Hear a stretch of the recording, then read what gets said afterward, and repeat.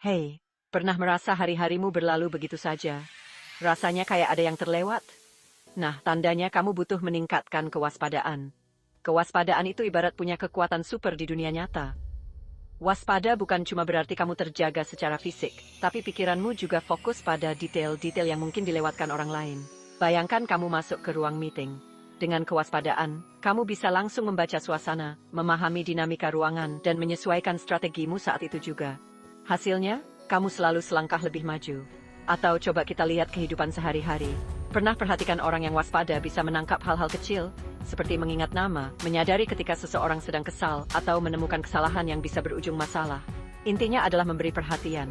Nah, ada tips nih, latihlah mindfulness. Ini akan mengasah indramu dan menjaga pikiranmu tetap jernih. Anggap saja ini sebagai latihan untuk otakmu. Jadi yuk kita tingkatkan kewaspadaan. Fokus tetap tajam dan buk jalan menuju kesuksesan. Mulailah hari ini, dan lihat bagaimana tindakan kecil penuh kesadaran membawa perubahan besar dalam hidupmu.